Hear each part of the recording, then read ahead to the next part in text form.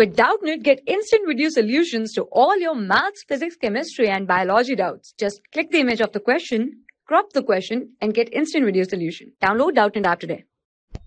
Hello, the problem states that a concave mirror of face viewing has a focal length of 0.4 meter. The distance at which you hold the mirror from your face in order to see your image upright with a magnification of 5 is what? So let's understand the situation. We have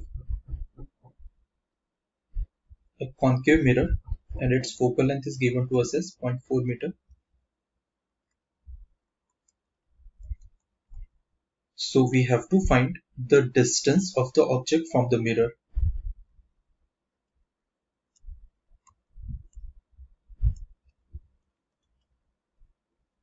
such that we see the magnification 5 times and also the image should be erect as uh, the image is upright.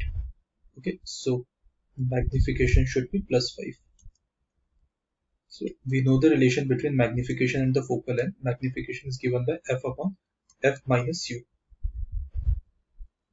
So uh, we can put the magnification value as plus 5 focal length. As this is uh, a concave mirror so focal length will be negative so minus of 0.4 divided by f again minus 0.4 minus u. So we get 0.4 is equals to 5 times of 0.4 plus u.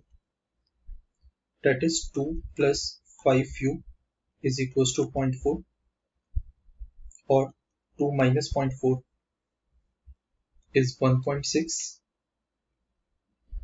divided by 5 with a negative sign is what u is.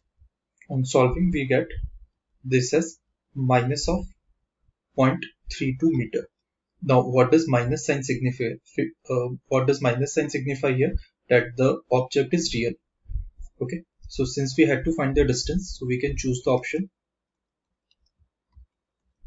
C as our right answer.